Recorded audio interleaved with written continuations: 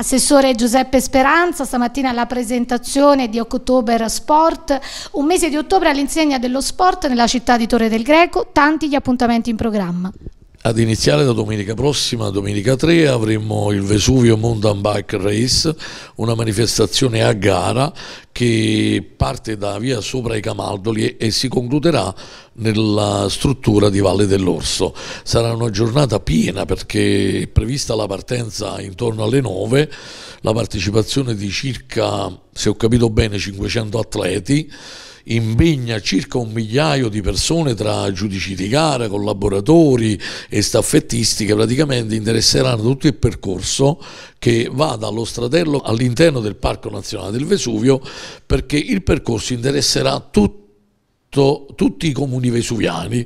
Praticamente sarà una gara della durata di circa, circa 4-5 ore un'attività molto entusiasmante, a dire la verità, io è la prima volta che parteciperò e quest'anno addirittura anche da eh, amministratore, quindi anche io sono entusiasta di ospitare questa manifestazione che a carattere nazionale vedrà l'arrivo di atleti da tutta Italia, se non addirittura dalla Svizzera e pare qualcuno anche dall'Austria. Poi si prosegue eh, domenica 10 ottobre con il ciclo turistica dei due mari, Adriatico-Tirreno.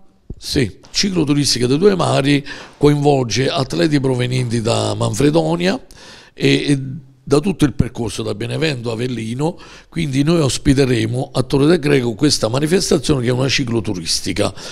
Perché cicloturistica? Perché all'arrivo eh, i partecipanti troveranno degli addetti ai lavori che li porteranno a far visita in alcuni luoghi della nostra città.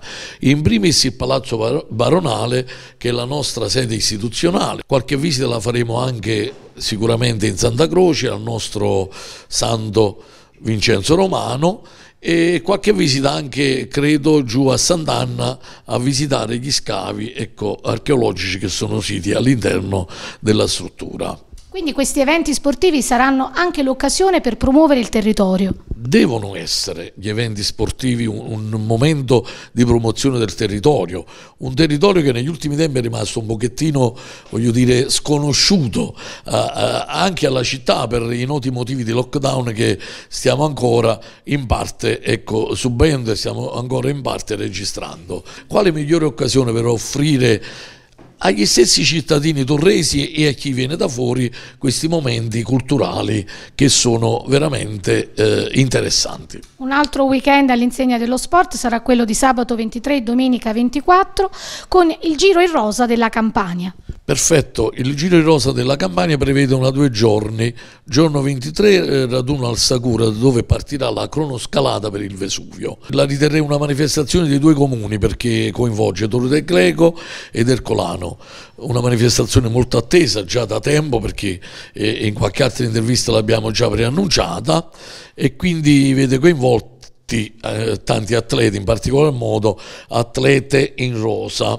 Giorno 24 avremo l'arrivo finale della tappa a Torre del Greco per poi eh, dirigersi verso Grumo Nevano eh, in pomeriggio. Eh, colgo l'occasione per invitare la cittadinanza, sarà un momento di condivisione sarà un momento di occasione ecco, per tutti.